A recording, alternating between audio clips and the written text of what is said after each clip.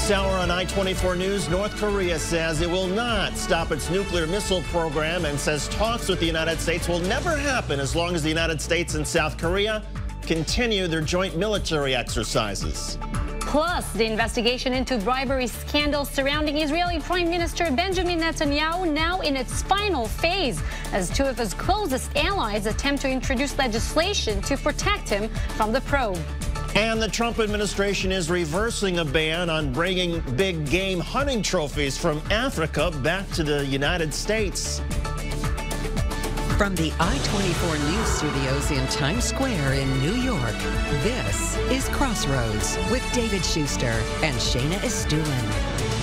And Tal Heinrich is in for Shayna. Always a pleasure to have you here. Great to be here. The global efforts to try and stop North Korea's nuclear threat have hit another rhetorical wall.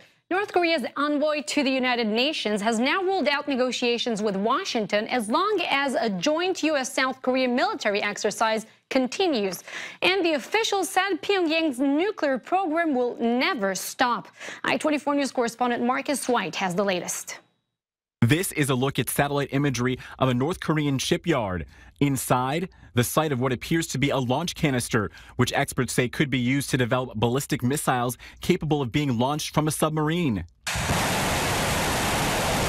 Pyongyang has conducted dozens of missile tests this year, but the last two months have been quiet since a missile launch over Japan September 15th. The United States hopes that leads to a chance to speak with North Korean leader Kim Jong un. According to Reuters, U.S. Defense Secretary James Mattis on Thursday said, so long as they stop testing, stop developing, they don't export their weapons, there would be opportunity for talks.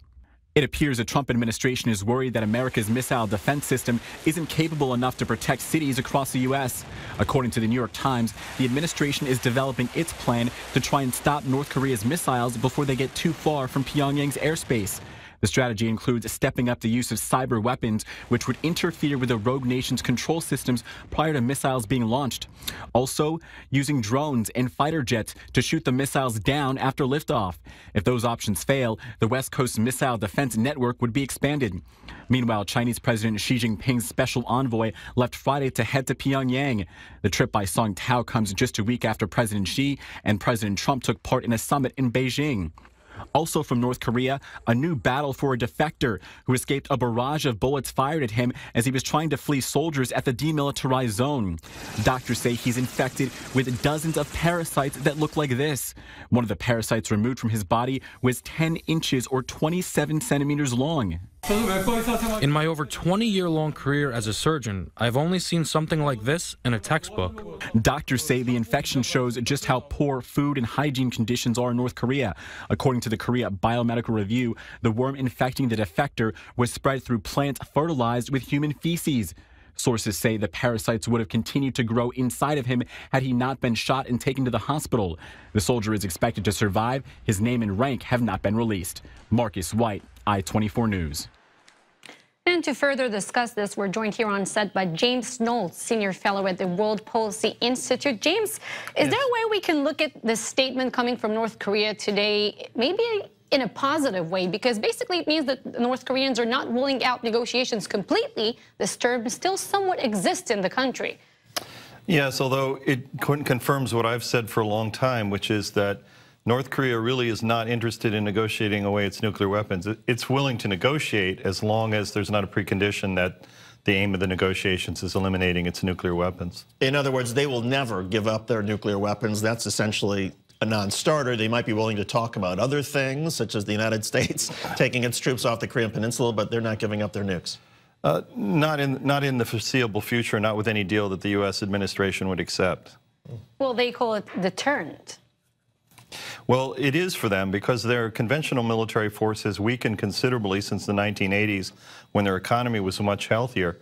And consequently, they're not confident in their ability to defeat a conventional uh, conflict involving the South Koreans and the Americans. So they rely on the nuclear deterrent as a, as a way of surviving in a, what they see as a very hostile world. Some of this came from the North Korean envoy to the United Nations in Geneva, and he talked about the United States being able to blackmail his country. Is that the fear that the United States, because we have nuclear weapons, would somehow tell North Korea, okay, you need to stop your program or else?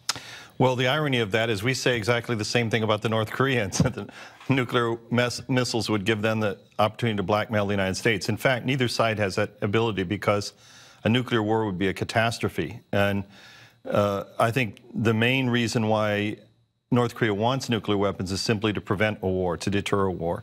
Although they speak in very bellicose terms, uh, I don't think they can use their nuclear weapons for blackmail, and neither can we. Because they're convinced that the 25,000 U.S. troops that are in South Korea would be part of some invasion force that they may have to confront? Well, yes. I mean, with the, uh, particularly with the military plans of South Korea and the United States, including explicitly a, a decapitation plan to eliminate the North Korean leadership as a way of of inducing regime change, that, needless to say, worries the North Korean leadership quite a lot.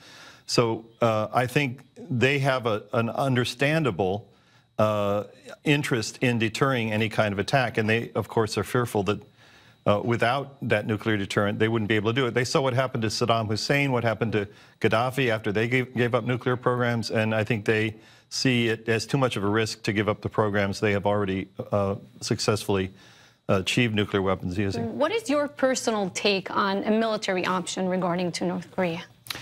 Well, I think uh, it would be a disaster in part because even though most people are talking about things like missiles and, and so forth, which are a potential threat, but an, one that possibly could be confronted by ABMs and so forth, but the threat that cannot be confronted, that can't be uh, deflected in any way, is that North Korea could use nuclear mines. So even if you tried to overthrow the regime by marching north. It's a different set of game they from what could, we know. They could explode a nuclear mine, destroy the first forces that go in there, and you know really make it an incredibly uh, bloody affair.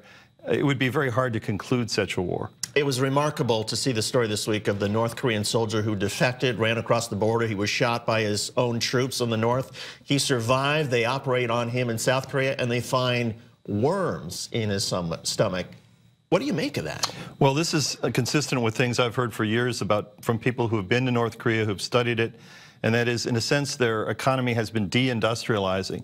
They used to have very large production of chemical fertilizer, for example, in the 1970s. In fact, during World War II, the northern part of Korea was the main source of fertilizer and uh, nitrogenous explosives, high explosives, for Japan. And so the country had very developed production capability.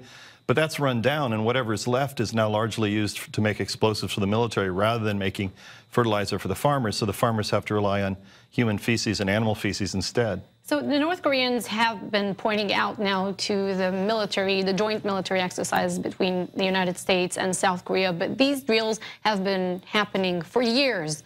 How do you assess this escalation, latest escalation between the U.S. and, well, and North Korea? Do you see it as a result of the Trump administration um, or just other previous U.S. administrations maybe overlooking this threat and it, it was just as extent as it is now?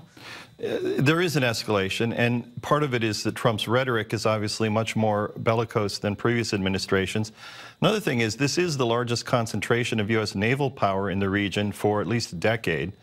So the, the scale of these exercises and their frequency has also been increasing. It's true that U.S. and South Korea have been uh, having joint military exercises, and North Korea has been protesting them for a very long time. But the scale and the frequency have definitely been increasing, and that looks to many uh, in the North as a preparation for some kind of uh, attack. In addition to the fact that both Trump himself and some of his advisors have talked about preventive war and talked about the possibility of using force against North Korea. Do you have any hope for the um, representative of President Xi from China who's going to Pyongyang, and this comes in the wake of the, the Trump-Xi visits over the past uh, few weeks? Any hope that that will have any tangible impact on the North Koreans? Well, I think it might. I mean, the best we can hope for is that it might calm the situation for a period of time because we indeed haven't seen any missile tests or nuclear tests for a few months from North Korea. But I'm quite sure that the, the, Chinese can't induce North Korea to give up the nuclear weapons. They may be able to get them to delay any pending tests for a period of time in order to let things calm down a bit, but I don't expect much more than that. Well, and the question is to what extent are the U.S. administration and the Chinese on the same page regarding North Korea? Right. James Nolt, Senior Fellow at the World Policy Institute. James, thanks for coming in. We appreciate it. My Good pleasure. Thank you. Still to come, Iraqi forces just recaptured a final Islamic State stronghold. It's another ISIS battlefield defeat. Plus, Israeli Prime Minister Benjamin Netanyahu will be questioned for a sixth time in his ongoing corruption scandal.